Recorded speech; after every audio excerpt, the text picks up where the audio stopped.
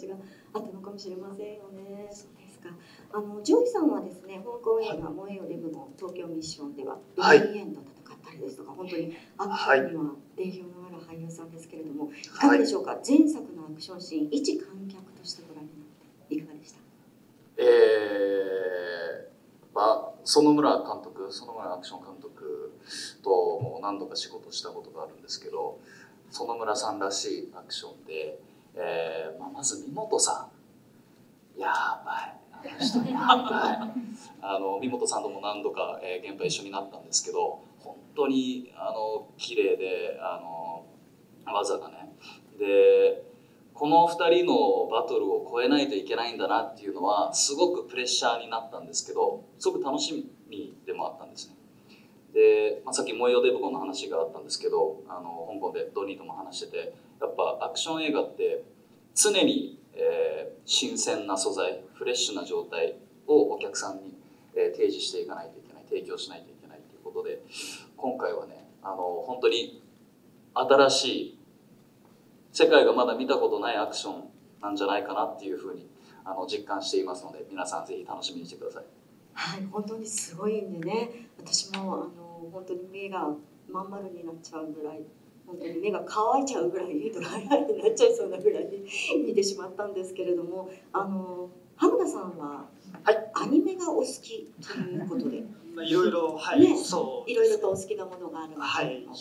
どうでしょうか？あの前作はこはい。う実写作品ながらもアニメファンの方も楽しめるような要素もこう入っていたのかななんて思うんですがどうですか？そのあたりは。そうですね、まあ、キャラクター性みたいな部分でもやっぱりそれぞれのキャラクターが立っているっていうのがすごく多く描かれていると思うのでそれがこうキャラクターの愛らしさだったり素敵な部分につながっているのかなと思うので、まあ、そんな中、まあ、今回の「まあ、2ベイビー」の方でも、まあ、キャラクターがさらに立った2人があの兄弟で出てくるのでそういう部分のこのなんていうんだろうキャラクター同士の対比だったりとかそういう部分をなんかこう深く見ていくっていうのはこうアニメが好きな方にもおすすめできる部分なんじゃないかなと思っています。なるほど、はい。アニメファン代表として。ありがとうございます。代表代表とまで言うとちょっとあれなのでちょっともうちょっと下の方にしていただけるとありがたいです。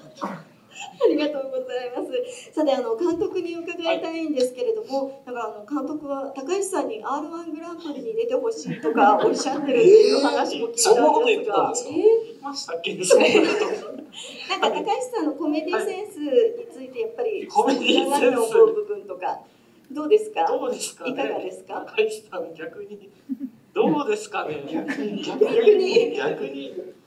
難しい。でもそうですね。真ん中のとあるバトルのシーンがあるんですけど、まあ、予告ではもう全然映ってないとあるバトルをするシーンがあるんですけどあそことかのいい言い笑いをねバランサーですよね本当に。あの顔の 全部がもうおもろくなるぐらいおもろいんですよもうぜひ見てほしいですねはいなるほど。じゃあもう全身っていう感じなんですね。はい、全身、あ、全身全霊でね、やってくれましたよね。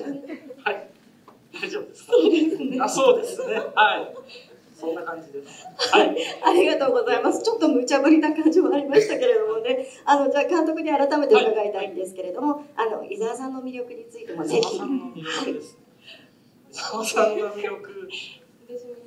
めっちゃ考えるじゃないですか。そんなパッと出てこない。いやいやいや、いや、やっぱアクションとか出てきますけど、まあ別にアクションって言ってもね、俺は。いやなんなんて言えばいいんやろでもやっぱワンえっとそうですね高橋さんも相当なんですけどやっぱ伊沢さんもなんかこう反射で動いてくれるっていうかなんかあんま頭考えすぎずなんかその場にあるもんでいきなりやりだした でも全然いきなりモニターで見ててびっくりさせられるようなことがあってもうすごいそれをぜひ見てほしいですねはいお菓子で遊んでるんですかお菓子？お菓子何でしたっけお菓子？あ、違いましたね。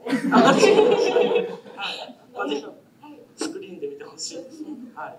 どこのシーンかはまたあの楽屋でゆっくりと。あ、そうです。少し教えてください。ああ、お菓子、はい、ごめんなさい。はい。今俺だけ分かったんで、はい、じゃあお客様もおそらく、あーみたいな感じでね。夫。なると思うんで、お菓子のシーン。はい。はいありがとうございます。さてですね、そんな中でついに完成した続編のわけなんですけれども、高橋さんは続編の制作決まったよって聞いた時にはどう思われました？ええー、ワンを作っている最中に監督と伊沢さんと続編の話をしていてでその話っていうのはもしも話みたいな感じでただただ、えーこういうキャラクターが出てたら面白いかもとかじゃあ2あるんだったら3はこういうのでじゃあ56続いたらこういうことがあったら面白いねっていうの話をしていたので続編決まったってなった時はもう来たかというような気持ちだったんですけどもうワンをたくさん見ていただいて皆さんが続編見たいっていう声が本当に多くてその声に応えられるということが何よりも嬉しかったです。はい、伊沢さんはいかがでしたでしょう？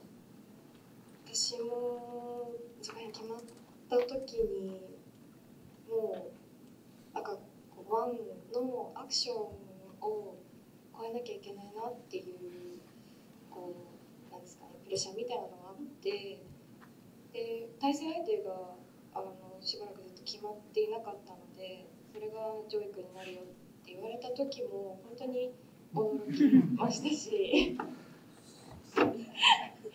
かこう私がアクションを始める前からこう初めてジョイ君見たの東京トライブのアクションシーンを劇場で見た時にこん。なすごい人がいるん。だって全然アクション私もやってなかった頃だったのでもうありがとうございます大先輩渋い子なので本当になんか一緒に戦えるのがすごい嬉しかったですありがとうございましたいえこちらこそありがとうございました。